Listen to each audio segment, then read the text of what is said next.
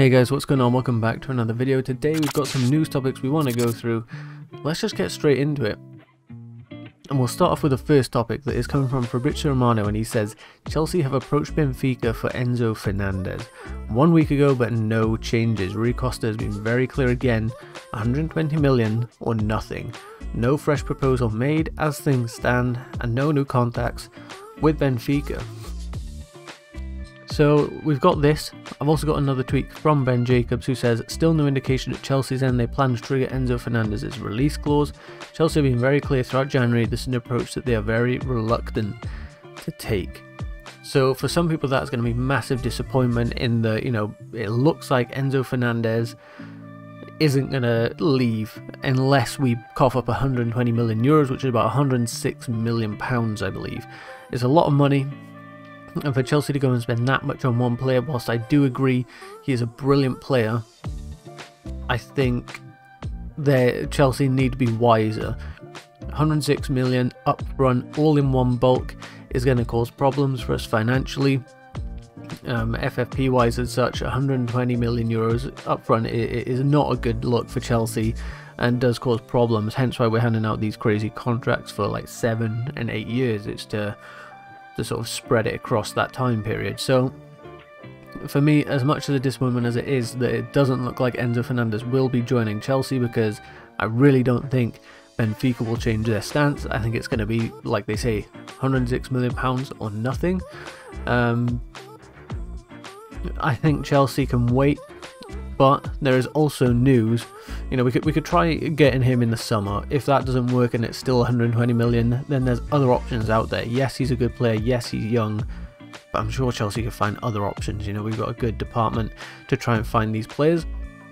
But the other news coming through again, the, the source on this one, not as strong here. You've got Fabrizio Romano, Ben Jacobs, two very reliable Chelsea journalists. This one coming in from Tutto Mercato Web, as you can see down here and it says Chelsea have now submitted a £49 million bid for a player Conte has asked Tottenham to sign for him. Uh, that player, as you can see pictured, is um, Alexis Mac Allister, and you can see here it's um, it sounds like maybe um, Tottenham were trying to go and get him. Of course, it says that you know uh, Antonio, Antonio Conte wanted him. L apparently, if this is to be believed, Chelsea have gone in and put a 49 million pound bid in similar-ish kind of play, but when Chelsea are desperately lacking a defensive midfielder, I do think we could use, you know, a more attacking type like Mac Allister. Um, but I think defensive midfield is an area we're very, very weak on. Let's take a look at him. 24 years old, of course, plays for Brighton, so a lot of us will have seen football of him. Right footed, plays in the midfield, strengths are long balls and passing. You can see he plays in the central midfield here, as well as an attacking midfielder. Of course, Brighton doing really well this season, so there's no surprise that Chelsea are having a look at him. Uh, you can see on the left hand side, just below my name here, 17 appearances, 5 goals in that time. Uh, I don't think he's got any assists, no, but he has created one big chance, as you can see highlighted down there. Um, passing numbers are all good, I'll pop those below me again. In his own half is good, uh, very strong in his own half realistically. Long ball 69%, that's pretty good ratio for, you know, spreading those balls out wide like he does um, uh, uh, uh, Brighton. Um, and then you can see further down below, you know, the tackling numbers down here again. They're okay, you know, 2.7 tackles a game is actually okay.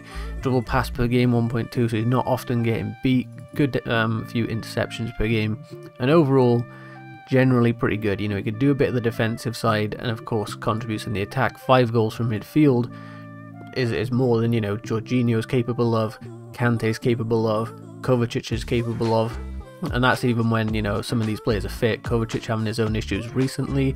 Kante not playing for like whatever it is, like a year for Chelsea. So I think it'd be a good signing. 49 million pounds isn't a crazy amount. You know, he's still young. He's uh, 24 years old. He can easily go on to 34 plus. Um, so, you know, £49 million is a good investment. If he does well at Chelsea, there's always the opportunity to sell him on. Not that we tend to sell players for much profit these days, but it certainly is possible. And something that the new owners, I'm sure, will try to, you know, change in that Chelsea, we often let players go for less than what we paid for them. And, and that's um, that's rarely a good thing and something that you can't always sustain. Um, looking at his average ratings for the season here on the left hand side, you see a 7.11 average rating across the entire season. Very strong, of course, played in the World Cup, had a pretty strong performance out there, and in the Premier League has also done well. Um, this could be another case of Brighton just buying someone cheap, developing them for a few years, and then, you know, off they go after three, four years, selling for ridiculous money. 8 million euros is what they spent on him and if this is to be believed, Chelsea have just thrown down 55. So Brighton, again, doing what they do best, but after we took, you know, Graham Potter, some of their staff, maybe that's something Chelsea will be able to do um, in the future. But it's an exciting one if this is to be believed. Again, you know, it's weird that an Italian, uh, we'll take a look at the article, if we translate this um, you know, it, it's weird that Chelsea news is coming from an Italian outlet before it's coming, you know, from Ben Jacobs, from Fabrizio Romano, all these sort of types. So we'll see if there's anything to be believed. Maybe this is all a load of rubbish, so take it with a pinch of salt, and we'll see where it leads. But let's go on to the next topic. And we have club have reached agreement with Chelsea for Blues players transfer meeting tomorrow for contract talks. And this is an outgoing, and it's saying that Bakayoko could finally be on his way out of Chelsea. This is a Turkish reporter um, saying that uh, the, club here is um, reportedly about to have a meeting. They've agreed um, and they've reached agreement for the transfer, likely with Chelsea that is, and they'll meet with the player tomorrow in order to sort out the ter uh, terms of the contract. So I doubt he's going to go for much. This is the tweet uh, translated, you can read it there. I doubt Bakayoko's really going to go for much, let's be real. Um, everyone knows that his time at Chelsea has been lackluster, to put it lightly.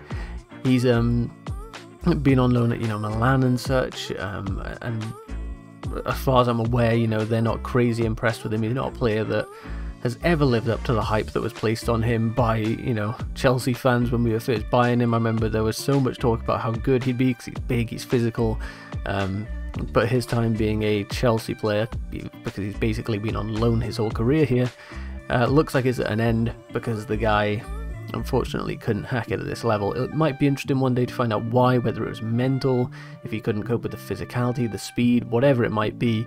But man, he just he looked like he lost all confidence playing in a Chelsea shirt. So that's good news that maybe that'll be one player off the books. I'm sure that's something that the new owners will look to address. Whilst they're bringing in all these players, they're going to have to thin the squad out somehow and getting ready, you know, the sort of over previous years, the Danny Drinkwaters, the Bakayokos, these sort of guys, get them off the books, even if it's going to cost us a little bit or we're going to take a big loss on the transfer. It's better to just get them out the club, realistically. But that is going to be the end of the video, guys. If you did enjoy, please be sure to leave a like on it, hit subscribe so you never miss a future video, and I'll see you on the next one. Goodbye.